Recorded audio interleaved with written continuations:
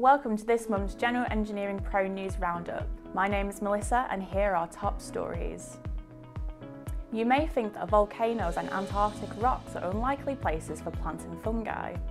However, scientists at the Royal Botanical Gardens are calling for the immediate protection of 74 new plants and 15 fungi discovered across the globe. The discoveries were made last year and a call for immediate protection is at the forefront of scientists' minds because around three quarters of undescribed plants are said to be threatened with extinction.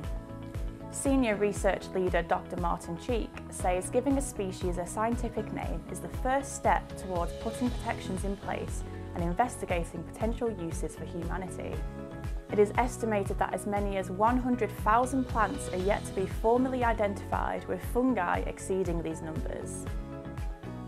H2 Energy Europe, a builder of European hydrogen ecosystems, has been given the green light for a 1 gigawatt green hydrogen plant in Denmark. The large-scale production facility is a significant milestone and will support the decarbonisation of heavy industries and road transportation while serving as chemical feedstock to produce sustainable e-fuels like methanol and ammonia. The plant will create approximately 60 permanent jobs and up to 700 jobs during its construction. Oman has launched a tender for a large-scale 500 megawatt solar project in the northwest. This will be the fourth solar project in the country, covering an area of around 10 million square metres, with a commercial operation date planned for the fourth quarter of 2026.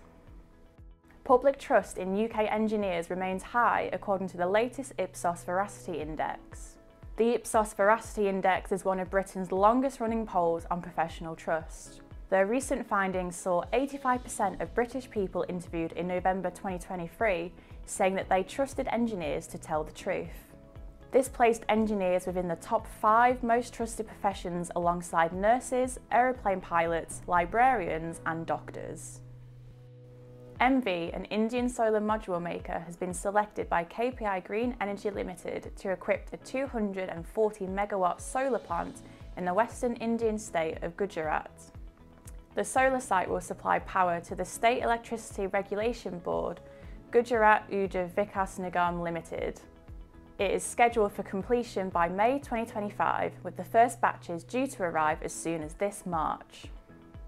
And finally, the Australian government has selected six large-scale electrolysis projects to kickstart the country's green hydrogen industry. The projects have been chosen as part of the 2 billion Australian dollar scheme to become a leader in green hydrogen production and exports.